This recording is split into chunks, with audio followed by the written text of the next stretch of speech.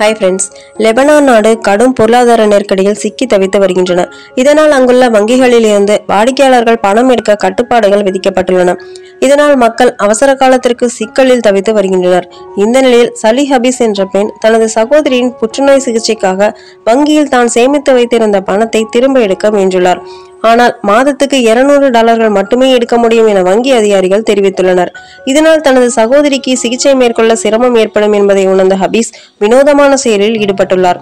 வங்கியால் பாதிக்கப்பட்ட தன்னார்வலர்களுடன் இணைந்து பொம்மை துப்பாக்கியை காட்டி வங்கியில் உள்ள தனது சேமிப்பு தொகையான பதிமூன்றாயிரம் டாலர் கொள்ளையடித்துள்ளார்.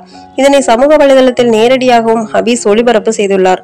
வங்கியின் கட்டுப்பாட்டால் தனது தங்கைக்கு சிகிச்சை தடைப்படும் என்பதால் தன் பணத்தை தானே கொள்ளையடித்த சம்பவம் அங்கு பரபரப்பை ஏற்படுத்தியுள்ளது.